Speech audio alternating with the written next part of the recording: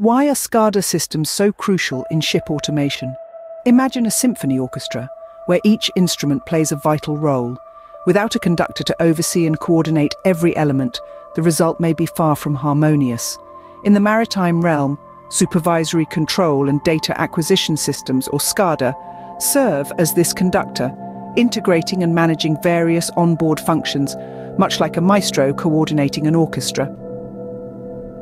SCADA systems are the brains behind ship automation, integrating an array of sensors, actuators, controllers, and human machine interfaces. These systems monitor, control, and optimize critical operations such as propulsion, navigation, cargo handling, and environmental controls.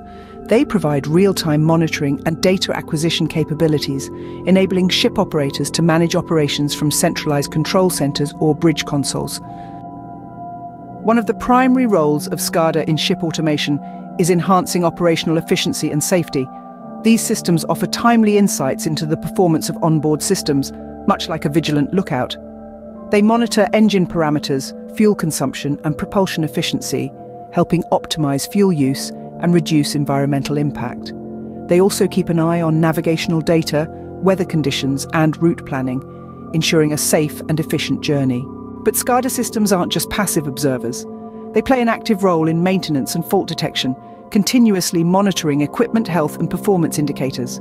Should they detect potential issues, such as abnormal temperatures, pressures, or vibrations, they alert operators, allowing for timely intervention and preventive maintenance.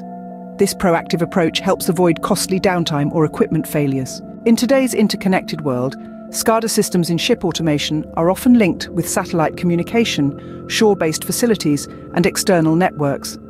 This interconnectivity enhances operational flexibility and situational awareness, but introduces cybersecurity challenges. It widens the attack surface, exposing shipboard systems to potential cyber threats. Securing SCADA systems in ship automation is crucial to ensuring the safety, reliability and integrity of maritime operations. This is no small feat given the harsh maritime environment, legacy infrastructure, resource constraints, and evolving cyber threats.